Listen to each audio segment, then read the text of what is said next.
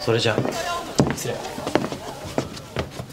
本日の主役である花嫁あなたにお伺いします。はい。本日の料理赤いリボンと青いリボン。花嫁のあなたはどちらの料理をお気に召されたでしょうか？え私は。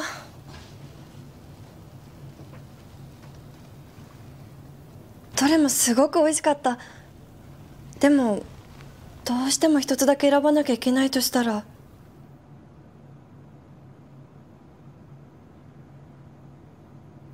一番美味しかったのは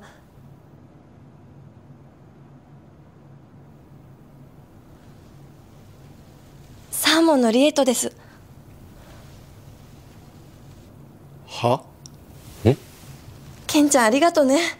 仕事も結婚式の準備も大変だったのにあんなお料理私全然知らなくて。もう泣くなよ。みんな見てんだろ。どのお料理もね本当にすごく美味しかったの。でも私とこのお腹の赤ちゃんにとっての最高はやっぱりケンちゃんのお料理です。なんだよ照れるな。よご両人。よかったな瞳子な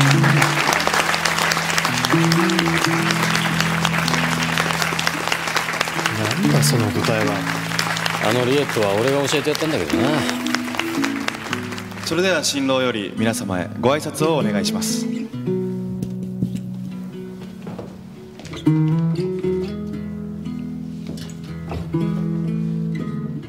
あの今日は英介も柏木さんも本当にうまい料理ありがとう。俺は瞳子と一緒になりたくて音楽やめてこの店で働き始めました。まあ俺は料理人なんて柄じゃねえし迷ったし喧嘩もいっぱいしたけど。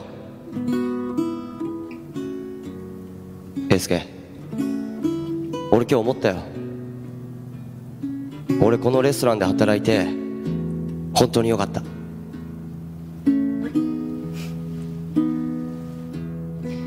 まあこれからもいろいろ大変なことがあると思うけど瞳子と腹の中の子供のために頑張んないとな。これからもみんなよろしく。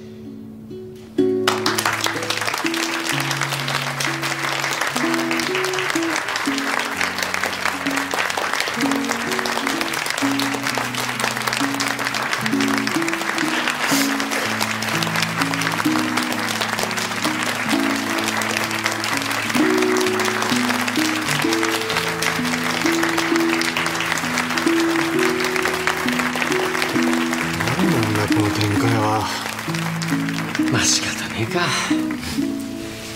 どんだけ料理人が工夫を凝らそうと金をかけようと結局大事な人間の手料理には勝てねえってことだ。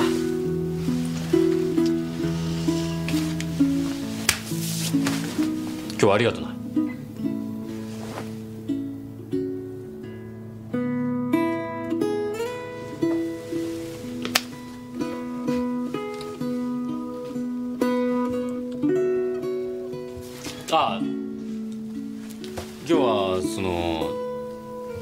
助かった。悪かったと思ってる。いや？楽しかったよ。え？いいものを見せてもらった。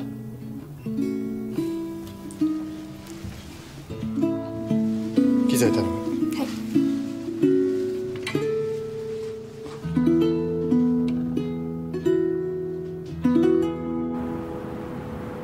でどうするよこの後。音響係の親父さんもどっか行っちゃったしあねえ。せっかくこうしてみんな揃ってるんだし久しぶりに演奏してみたら。